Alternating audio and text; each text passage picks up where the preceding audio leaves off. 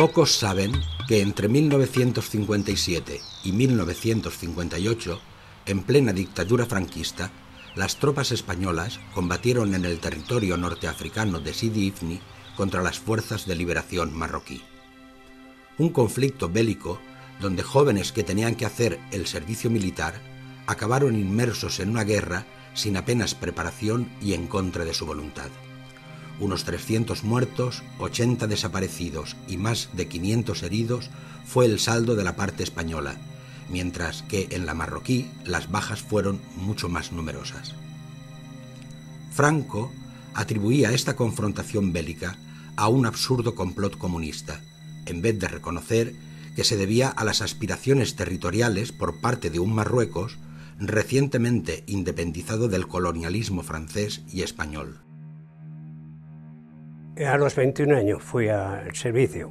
Allí cumplí la mili y estuvimos 23 meses, cerca de dos años.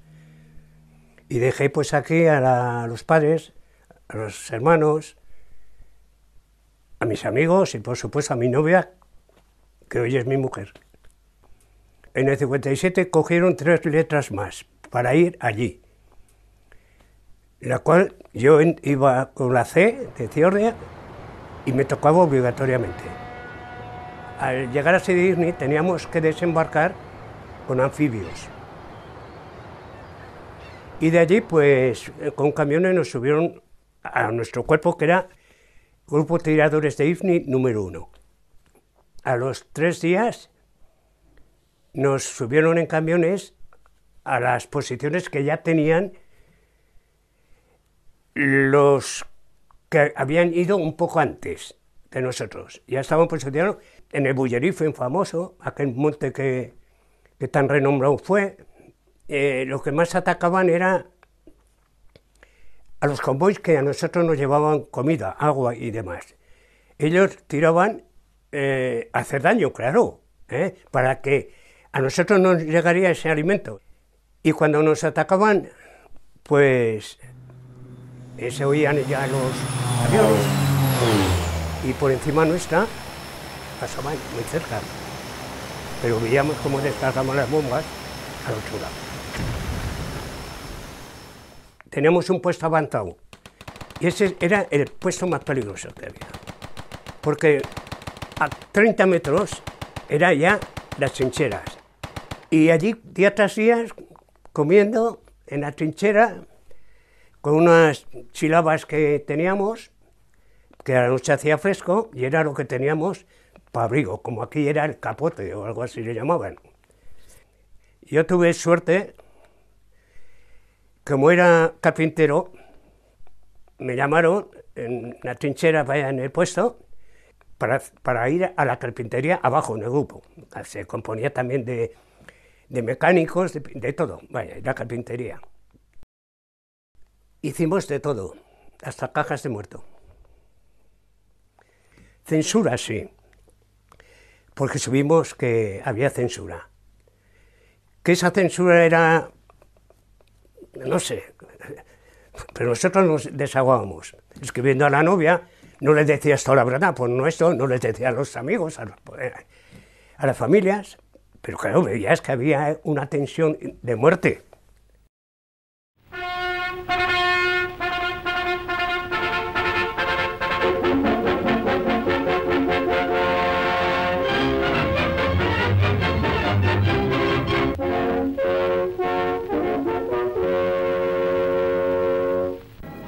Los operadores de nodo vuelan sobre el territorio de Ifni en el África Occidental Española. En esta travesía aérea de reconocimiento, en la que se pasa sobre Telata, Zoco del Arbaa de Mesti y otros lugares hasta Tiliwin, se obtienen imágenes de las posiciones donde resistieron heroicamente nuestras tropas contra la agresión de las bandas armadas que se inició, como es sabido, el 23 de noviembre y en las que se puso de manifiesto el patriotismo, el arrojo y la combatividad de las fuerzas propias hasta la llegada de las unidades de refuerzo.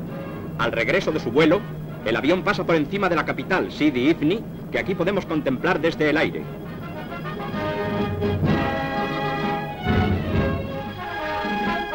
Visitan el territorio de Ifni los corresponsales del New York Times, Figaro y Paris Match, acompañados del señor Logendio, representante del Ministerio de Asuntos Exteriores, y de un comandante del Estado Mayor Central del Ministerio del Ejército. Los periodistas reciben explicaciones de la situación actual del territorio, después de los hechos de armas, y se les facilita toda la información y detalles necesarios para el cumplimiento de su misión. Un representante del Estado Mayor del África Occidental Española les hace ver el campo desde su observatorio y también recorren algunas de las posiciones de artillería y de la infantería españolas, dispuestas siempre a cumplir con su deber.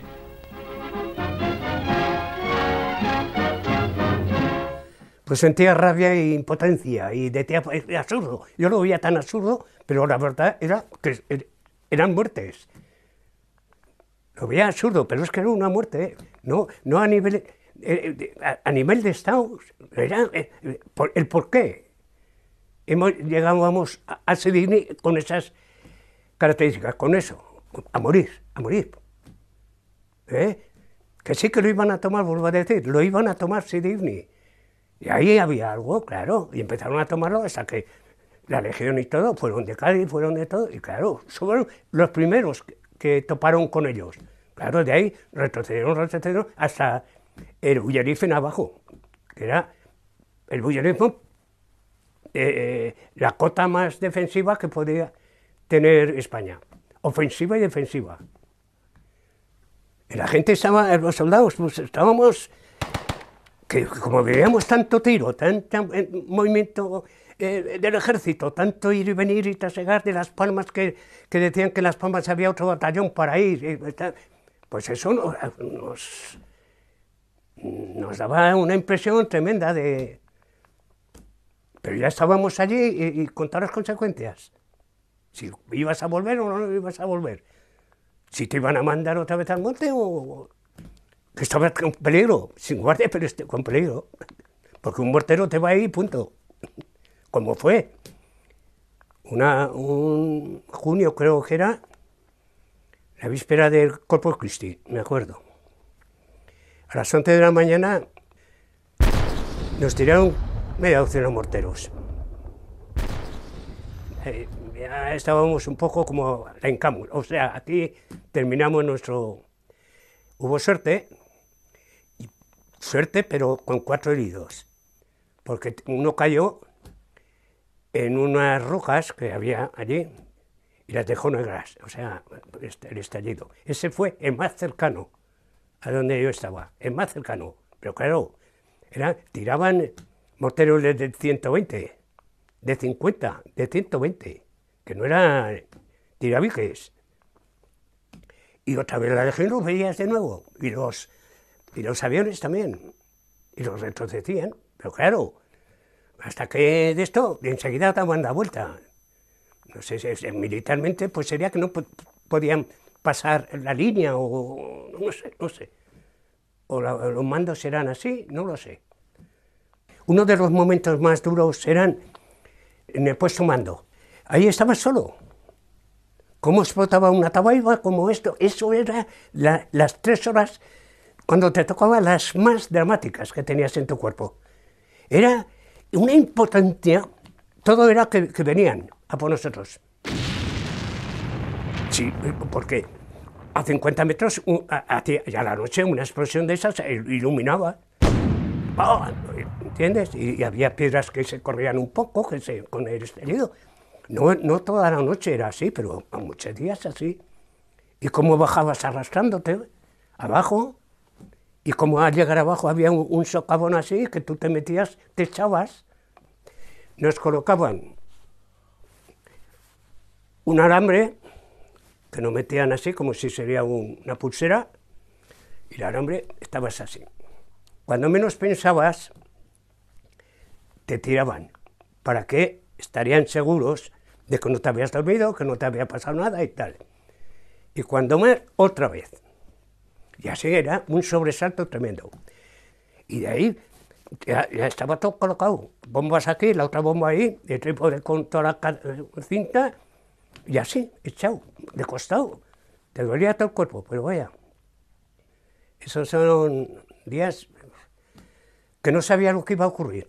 Si te subían de esto, y de vez en cuando un tiro en el otro lado de la, del Bullerifen. O sea, el Bullerifen en un monte, claro, era todo cerrado.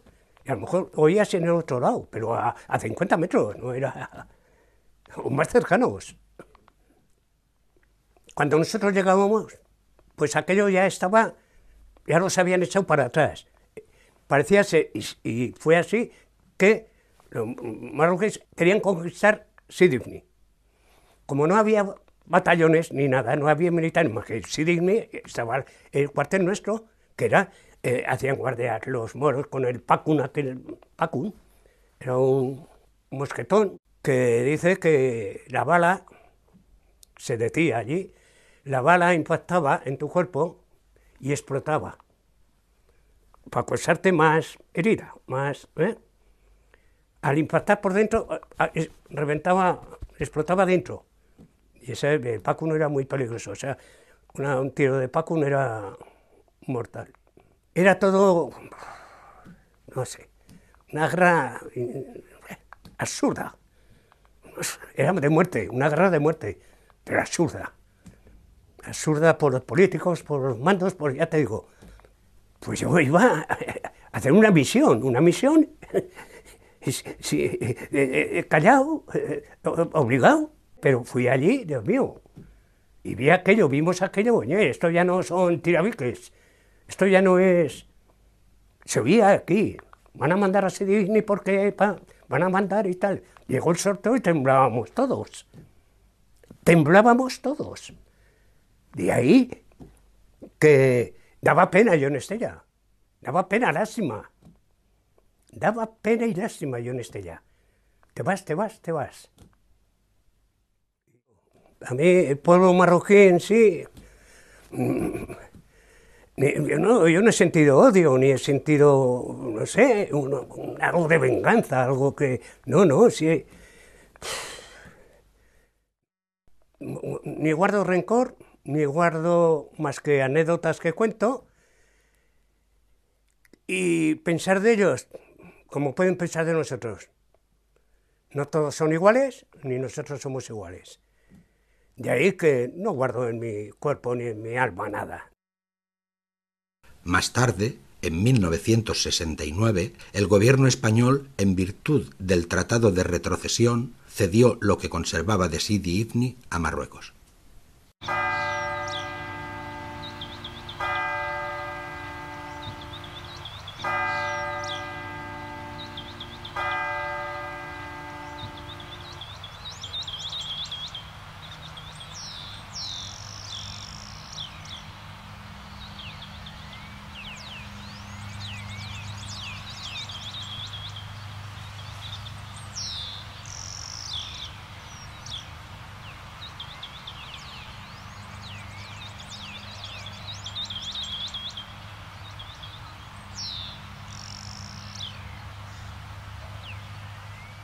Eh, esta anécdota también.